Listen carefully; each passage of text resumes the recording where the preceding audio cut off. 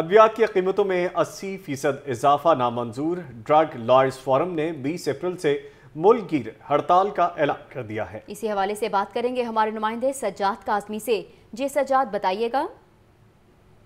Lawyer forum کا اجلاس واضح طور مسلم ٹاؤن لاہور پر منعقد ہوا جس سے صدر نور مہر نے خطاب کرتے ہوئے کہا کہ سابق سی ریپ شیخ اختر کو نوکری سے برخاست کرنا عدلیہ کا اور ہمراہ کا ایسا اقدام ہے۔ وقت کی ضرورت ہے کہ شیخ اختر کی غلط استعمال اور مریضوں کے چار سو ارب روپے کی لوٹ مار کا حساب لیا جائے اور انہوں نے مطالبہ کیا کہ عمران خان ابیات قلط قیمتوں پر روزانہ جو اضافہ کیا گیا پچاس فیصد سے زائد سو فیصد تک اس پہ جی آئی ٹی بنائی جائے اجلاس میں ادویات کی قیمتوں میں غیر قانونی اضافہ پر بیس اپریل سے ملک گیر احتجاج کا بھی فیصلہ کیا ہے، کیا گیا ہے۔ ادویات کی قیمتوں میں پندرہ فیصد اضافہ کا حکومت کا غیر قانونی اعلان کر کے غلط طور پر عملی طور پر سو فیصد سے زیادہ قیمتوں میں اضافہ کیا گیا۔